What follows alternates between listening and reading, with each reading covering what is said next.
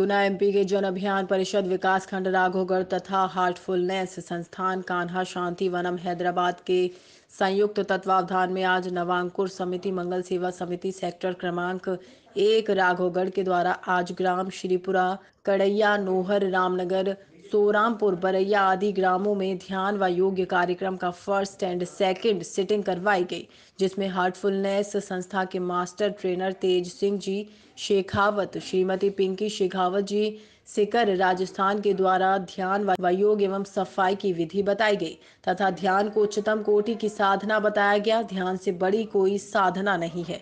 उन्होंने बताया कि आज के व्यस्ततम समय में ध्यान बहुत आवश्यक है। कार्यक्रम में विकास खंड समन्वयक लोकेंद्र सिंह लाखनौत ने बताया कि 5 मई से 21 जून को अंतर्राष्ट्रीय योग दिवस पर मध्य प्रदेश के एक करोड़ लोगों को ध्यान व योग सिखाया जाएगा।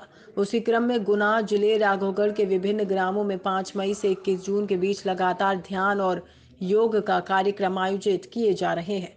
कार्यक्रम में मंगल सेवा समिति के सचिव सुरेश केटव परामर्शदाता महेश कुमार शर्मा, श्रीपुरा से एमएसडब्ल्यू छात्रा सरिता सैनी व आंगनवाड़ी कार्यकर्ताओं ने बढ़ चढ़ कर भाग लिया और इस कार्यक्रम को सफल बनाया। छोड़ने। महसूस करें कि ये तनाव मुक्त हो रही है। यहाँ का सारा तनाव हट रहा है।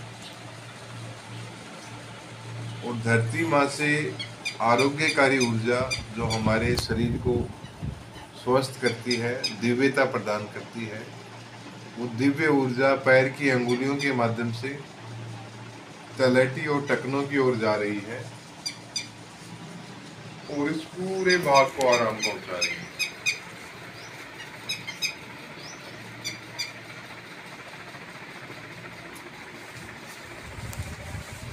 यहाँ का सारा तनाव हट रहा है। तो बताएँगे आपको भी। शरीर को पहले पृथ्वी की ऊर्जा से जोड़ा जाता है उसके बाद में फिर आपको ध्यान की प्रक्रिया करवाई जाएगी। ठीक है ना?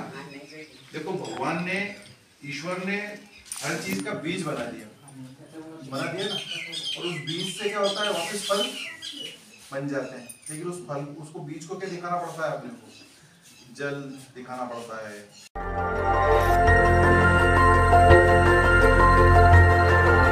देखते रहिए डीबी भारती समाचार।